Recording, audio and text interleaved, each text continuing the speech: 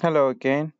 In this tutorial, I'm going to show you how you can compute the percentages of Likert type items like this table and interpret the results.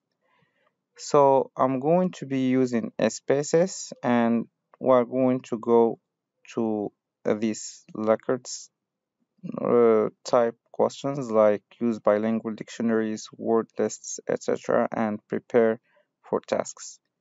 So what we can do here is that we are going to go to analyze, then tables, and then custom tables.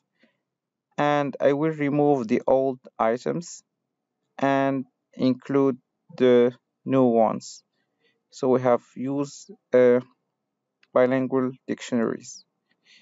Then, so I'm going to move all the items like this and then I need to change the rows and labels.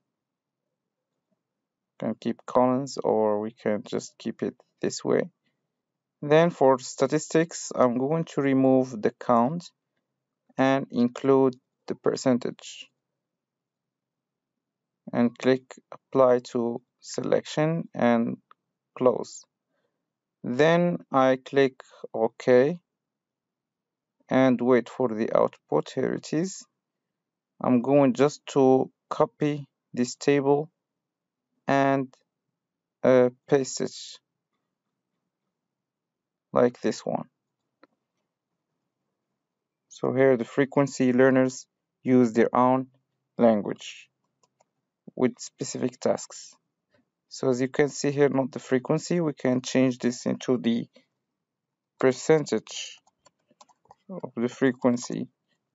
Learners use their own language and it's simple to interpret the results by looking at these uh, columns here and spotting the higher or the highest percentages.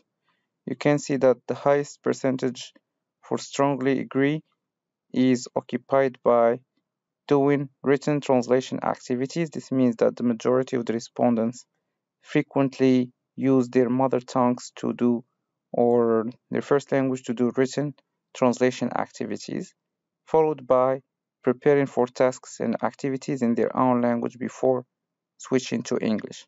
So if you have many items, you can report just the top five most frequent or most agreed upon items and leave the rest. So you can actually rank those items so that they can make sense. So this is the way we can even reduce these labels here and make them like strongly disagree, disagree, etc. So we can edit this table a little bit to make it compatible with the APA style and we can have nice looking data, let's say, representation. So this is how we can go about doing this and interpreting the results. See you soon in another tutorial. If you have questions or remarks, do not hesitate to post them below or contact me via one of my social media platforms. And see you in another tutorial. Bye for now.